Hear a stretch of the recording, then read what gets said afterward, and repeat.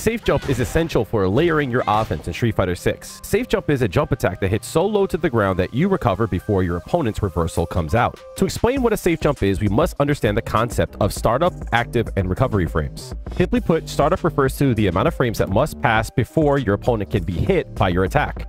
Active frames are the frames of the attack that actually hit the opponent, so when your move is active. Recovery refers to the amount of frames that must pass before your next move starts up. This is an example of a safe jump. Juri's heavy kick is still active even though she's so close to the ground. Ryu tries to start up an OD Shoryuken, but it doesn't become active before Juri can recover and block. Ryu cannot wake up with a reversal because Juri will recover before that move becomes active.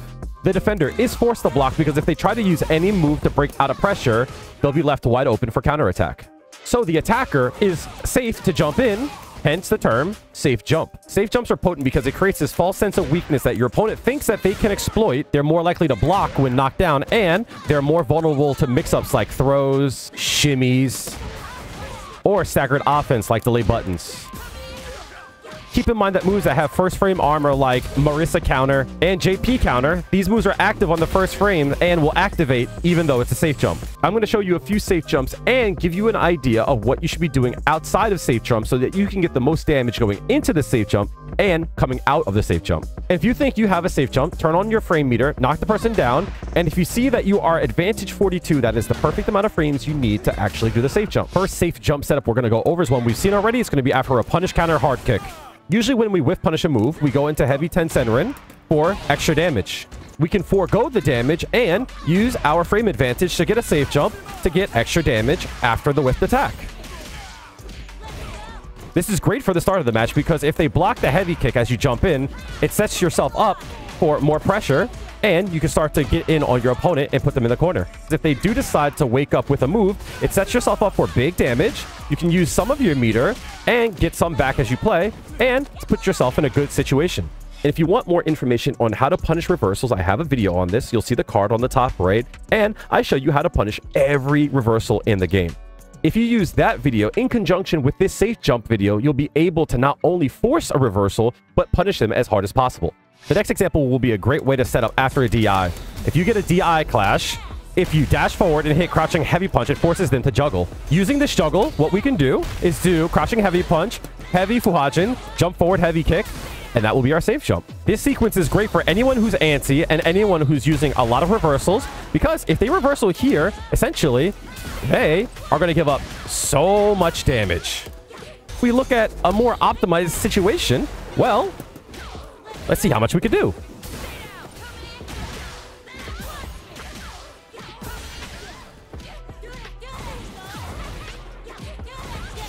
Oh my goodness, what is that? I haven't tested this out, so let's see what happens on a CA.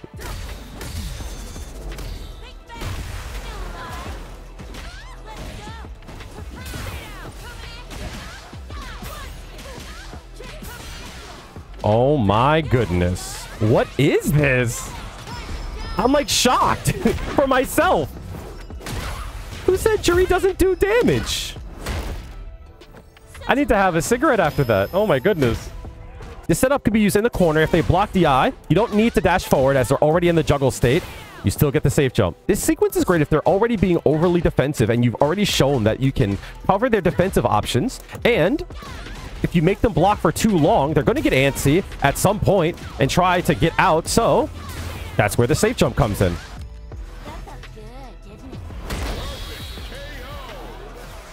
This next setup is a favorite of mine because it's after a very common situation.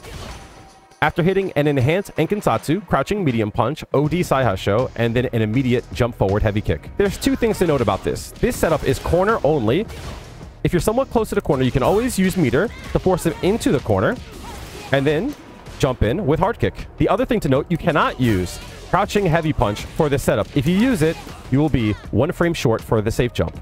The key for this safe jump is 42 frames. So if we're too close, we don't get the 42 frames. If we're too far, we might get more than 42 frames. If we were to use crouching hard punch, we will be at 43 frames, which is one frame short for the safe jump. And if we use standing hard punch, we're at the perfect distance so that we get 42 frames. Keep in mind, this also works for OD Ankensatsu. So if you don't have the stores, you still can get the safe jump. When pushing into the corner, just make sure their back is against the wall before doing this setup, or else you will not get the perfect amount of frames for the safe jump. I like this because it makes them cycle through their defensive options, and if we frustrate them enough, they might be pissed off enough to wake up with something big. Don't forget to parry as we get some of our meter back, and it allows us to punish even harder because we've used some of our meter. And look at this. Don't get in the way of a fool making a mistake.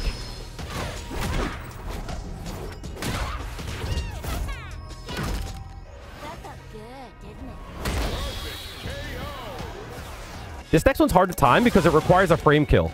An easy example of this is going to be Ankensatsu, forward medium punch, EX Saihasho, EX Ankensatsu, with crouching light kick, and then jumping hard kick.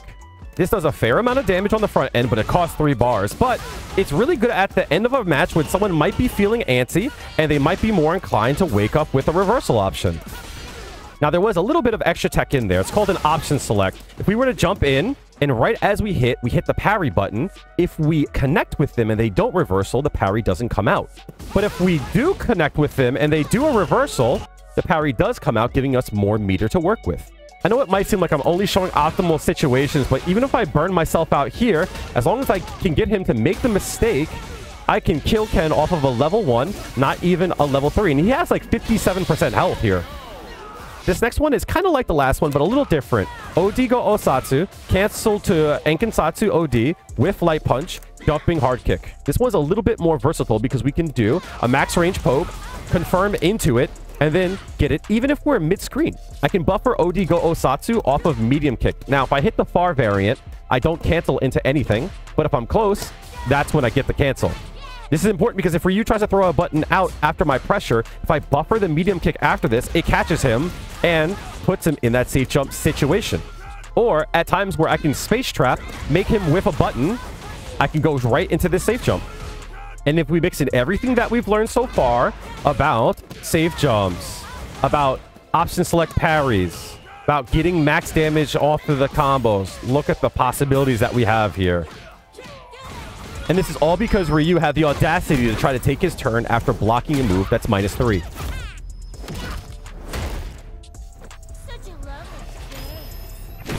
And if you liked the video, make sure to like and subscribe to see more content like this. Let's transition into my favorite part, Feng Shui Engine safe jumps. The first one we're going to go over looks something like this.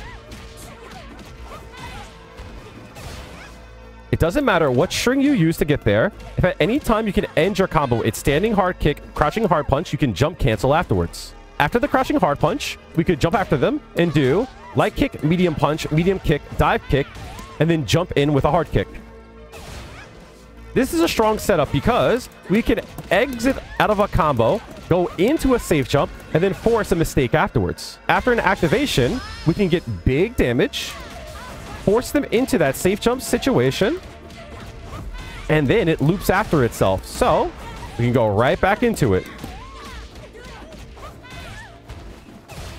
If Chun-Li chooses to block, we can still force some pressure afterwards by going into a string like that. Under Feng Shui Engine, if we end our string with standing medium punch, they still can't hit a button afterwards because we're advantage two frames. And if we bring this all together, even if they block the safe jump, we can still keep our pressure going. And then if they hit a button again, can go right back into the safe jump and put them into the situation one more time. Let's say, for example, we get this big punish. And we're pretty sure they're just going to block because they know we have a safe jump in the barrel, right? If we know that they're going to block there, there are ways to break the guard. We have a suspicion that they're going to respect the safe jump by blocking high, we could always not hit a button and just go low instead.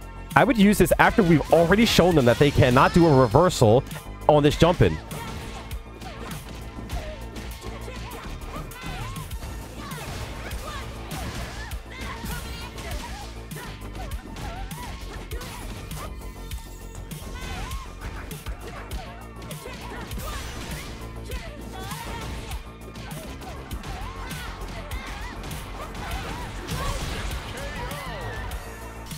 This setup cannot be done mid-screen as the crouching hard punch will whiff. If we make two adjustments, we can make this work.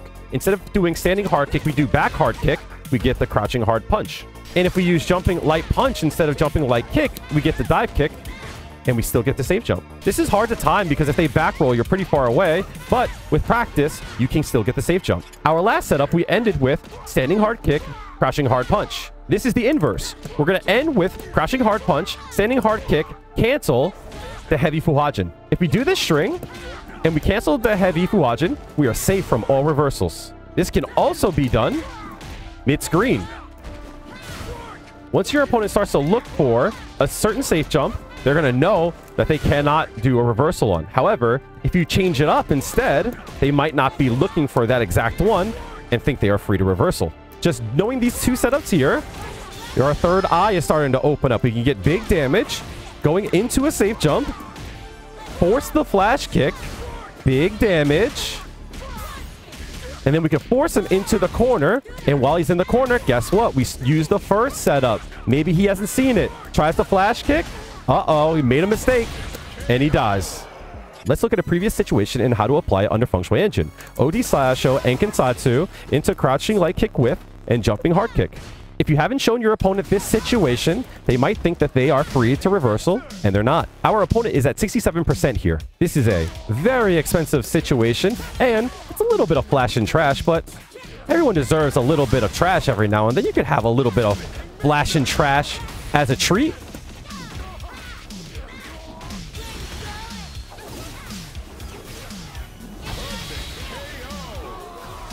Personally, as a defender, if I ever see a frame kill before I jump in, I just assume that it's going to be a safe jump. If we have a read on our opponent and we think that they might be trying to scope out the safe jump, we can always bait them into it by going low instead, right? Because we're smart cookies.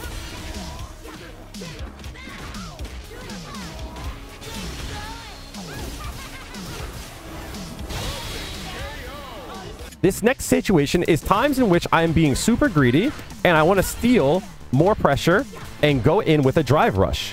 What ends up happening a lot of times, if they block, they get hit by this hard kick here. Under pressure situations, I would do something like this here.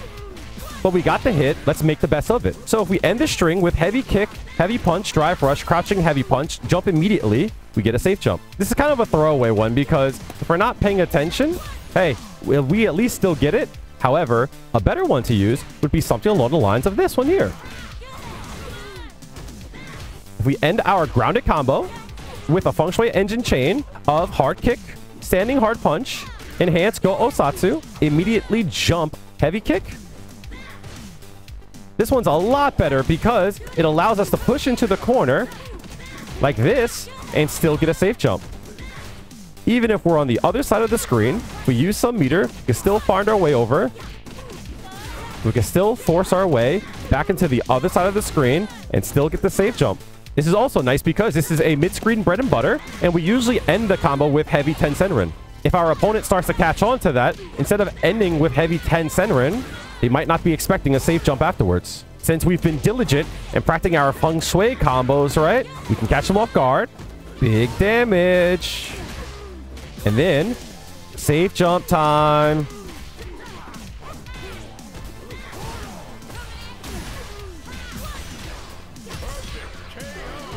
Our last setup is going to be a grounded feng shui engine combo ending in standing hard kick, but we're going to cancel the standing hard kick to OD Saihasho, jump in immediately with hard kick, and there's our safe jump. One of the perks of Feng Shui Engine is that we can convert stray hits that we usually couldn't do anything with to big damage.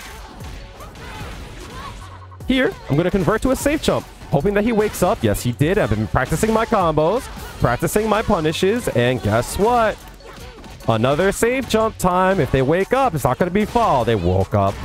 Bad news bears for them.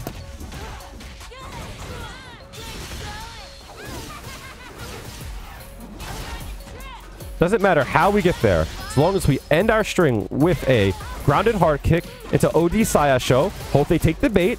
They do. Punish. A new safe jump. We're going to make them stand up. Hope they take the bait. They do. And they die.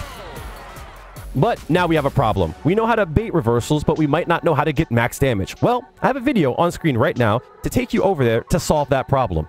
If you're interested in doing more damage and closing out games faster, you gotta watch that one to get the full scope of this video. If you have a question about any of these setups, let me know in the comments section below, or let me know which one of these were your favorite. I hope to see you in the next video. Thank you for watching. Tell your loved ones you love them and give them a giant hug. I'll see you guys soon.